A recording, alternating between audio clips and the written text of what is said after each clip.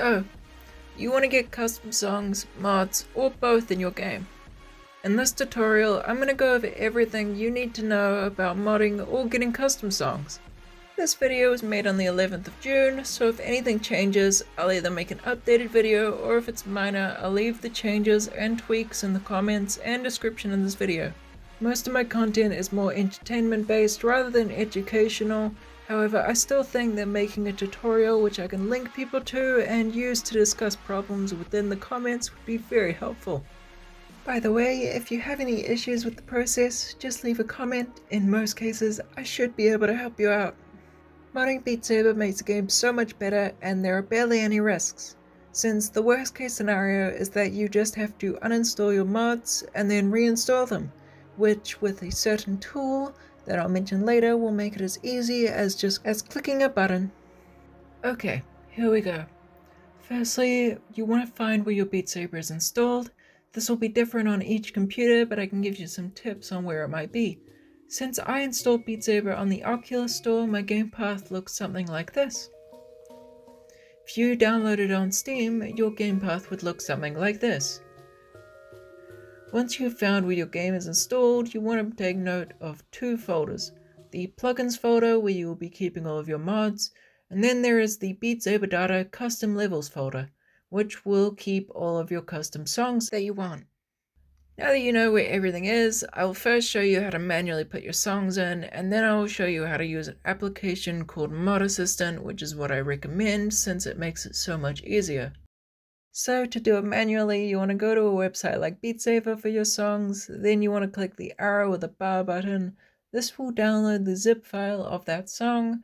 Once you have that, you want to unzip it, and then move that folder into your Beat Saber Data Custom Levels folder, after that, just restart your game and the new song should appear in your custom levels tab. There are two reasons to use Mod Assistant for importing your songs. One, you can enable one-click install which allows you to browse on BeatSaver and then you can click the cloud with an arrow button and it will just automatically put it into your game. And two, you can get a mod which allows you to browse for songs while still inside the game. To get Mod Assistant, you can Google Mod Assistant releases or you can click the link in the description. Once you're at that GitHub, you just want to download the latest release and run it. It will say, could not find your Beat Saber installation. This is okay, and all it's asking us is to point it in the direction of where our game is stored on our PC. So click OK and then select the folder that has your Beat Saber executable in it.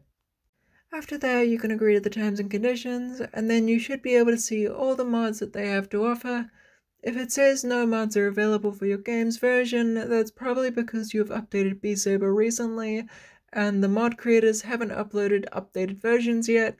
I have heard that it's possible to roll back your game previous versions, but I haven't been able to figure it out just yet.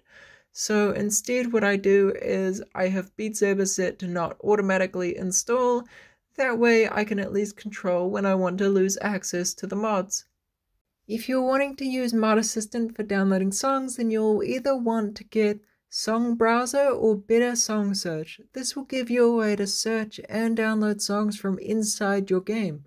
An optional one I'd recommend is the Beat Saber ranking mod, which allows you to upvote and downvote songs after playing them, which can help other users decide whether they should download it based on the positive feedback. Finally, to enable one-click install, you will want to go to your options on Mod Assistant and then click the Enable One-Click Installs button.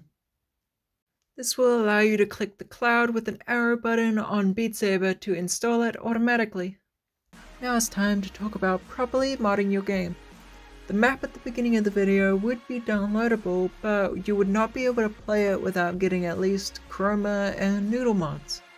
Pretty much any song that looks breathtaking on my channel will require one or more of these three mods. Chroma, Noodle, and mapping extensions. If you're looking to record Beat Saber like I do, the Camera 2 mod allows you to have a much freer control of your camera, and the Trick Saber mod allows you to spin your sabers like I do in my videos. Just like with the songs, I will show you the manual way since some mods aren't on Mod Assistant, and then I will show you the way to use Mod Assistant because it's easier to do it that way if the mods are on there. To manually get your mods, you will have to first find the mod's GitHub.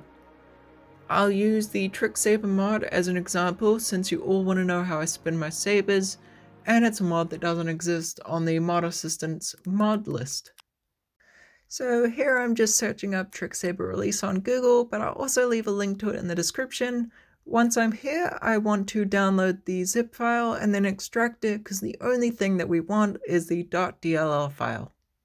We will copy the .dll file and then paste it in our plugins folder where our Beat is installed.